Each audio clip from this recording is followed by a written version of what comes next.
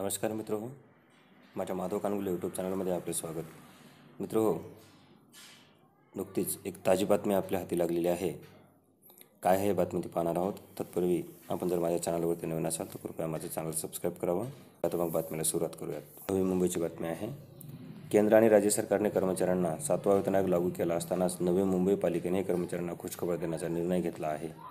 त्यानुसार सातवा वेतन आयोग देण्यासंदर्भ संदर्भात प्रशासनाने सर्वसाधारण सभेच्या पटलावर प्रस्ताव सादर केला आहे. या मोठ्या निर्णयामुळे कर्मचाऱ्यांच्या पगारात मोठी वाढ होणार आहे. तर महानगरपालिकेच्या तिजोरीवर तब्बल शंभर कोटी रुपयांचा अतिरिक्त ताण पडणार आहे.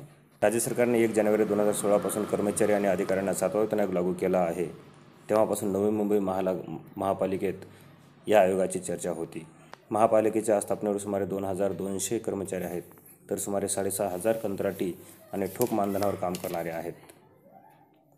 कर्मचाऱ्यांना आता वेतन आयोग लागू होणार असल्याने त्याचा पालिकेच्या तिजोरीवर ताण पडणार आहे.